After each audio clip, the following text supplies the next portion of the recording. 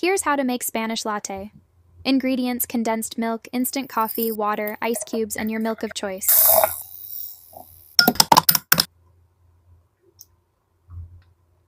And there you have it, iced Spanish latte perfect for summer. Caramel macchiato at home, pour your espresso, ice is optional. Add your foam milk, then drizzle your caramel on top of your milk.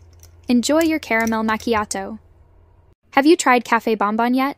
To make, mix equal amount of condensed milk to your espresso. Don't forget to add foam milk on top to make it a little extra. You'll have a sweet, strong, and creamy coffee drink from Valencia, Spain. Enjoy.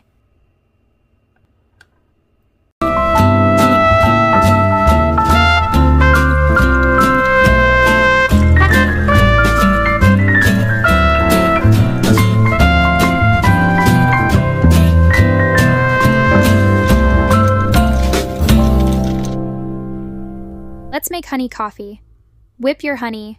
It won't budge use a good mixer, but if you're patient, just use this until the color of your honey turns lighter. Then add your instant coffee powder and water. Mix until it becomes like this. Add ice cubes and finally milk. There is your whipped honey coffee. Enjoy!